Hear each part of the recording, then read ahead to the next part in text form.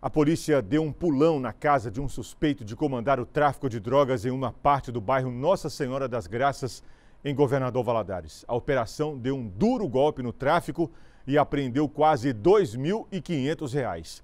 O curioso é que foram notas de reais, dólares e euros. Todo o material apreendido foi encontrado em poder de um homem de 41 anos. Segundo a Polícia Militar, ele é o dono de um ponto de venda de drogas no bairro Nossa Senhora das Graças. O suspeito foi preso durante uma operação policial. Indivíduo bastante conhecido e denunciado é, pela prática de tráfico de drogas.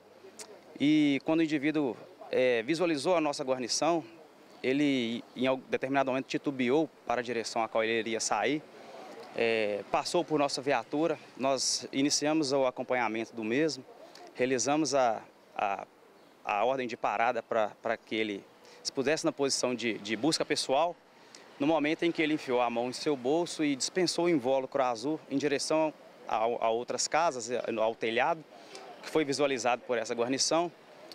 É, de imediato, nós é, chegamos nessa residência, visualizamos onde foi é, arremessado esse invólucro e após conseguimos acessar o local através de escadas e tal, tivemos que subir ao telhado dessa residência, conseguimos localizar ali uma quantidade de, de pedras de substância semelhante a crack. Os militares apreenderam mais de dois mil reais, dólares americano e canadense, pesos argentinos, quase 40 pedras de crack, aparelhos celulares, plástico para a embalagem das drogas e uma microcâmera. A Polícia Militar informou que a câmera apreendida estava embutida em uma parede e servia para monitorar a presença da Polícia Militar e a chegada de alguns usuários de drogas. A motocicleta, também recolhida, de acordo com a Polícia Militar, era utilizada para fazer o transporte de drogas.